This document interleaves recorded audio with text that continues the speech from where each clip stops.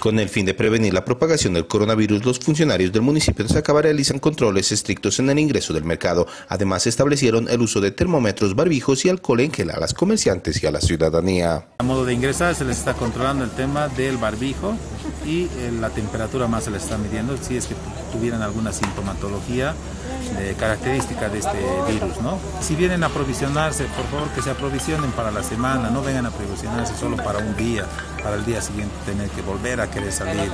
Eso por favor a toda la población. Remarcó que se controlará de manera estricta el horario de atención y la circulación de todas las personas durante el periodo que dure la cuarentena nacional.